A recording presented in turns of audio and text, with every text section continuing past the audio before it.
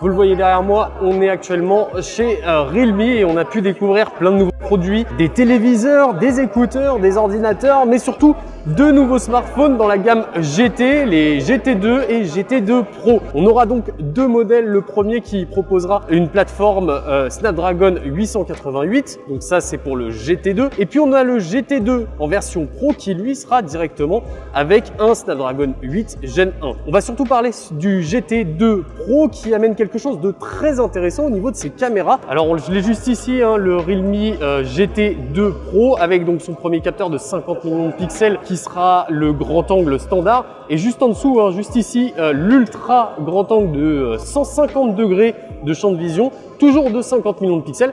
Et ici, on a un troisième capteur tout petit là, que vous voyez peut-être juste là, qui en fait est un capteur microscope qui permet un grossissement jusqu'à 40%, ce qui est assez cool. Très beau châssis, très belle coque hein, blanche. Alors c'est du plastique, mais du plastique qui a été traité, je ne sais pas si vous le voyez bien, on peut voir hein, euh, une petite surimpression sur la coque qui est plutôt jolie. Donc un smartphone plutôt réussi en termes de design, la coque évidemment en plastique et sur les bordures, j'ai l'impression que c'est du plastique également. On a un écran de 6,7 pouces qui a une résolution de 2K, 3816 euh, par 1440, ce qui vous permettra eh ben, de belles sessions de jeu hein, pour jouer hein. sur ce smartphone, ça va être nickel. Côté batterie, on est sur une batterie de 5000 mAh, donc de quoi tenir facilement la journée. Il faudra voir évidemment dans les tests un peu plus ce que ça donnera eh bien, quand on l'aura entre les mains. Au niveau des prix, évidemment, on est sur le smartphone euh, que Realme veut euh, flagship et ça se retrouve clairement. Le GT2 est proposé à 549 euros dans sa version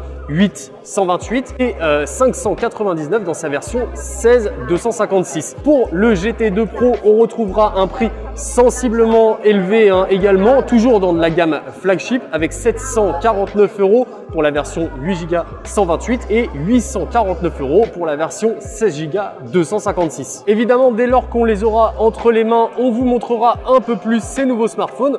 En tout cas, j'espère que cette petite vidéo vous aura éclairé au sujet de ces smartphones et on se retrouve très bientôt sur Phone Android. Ciao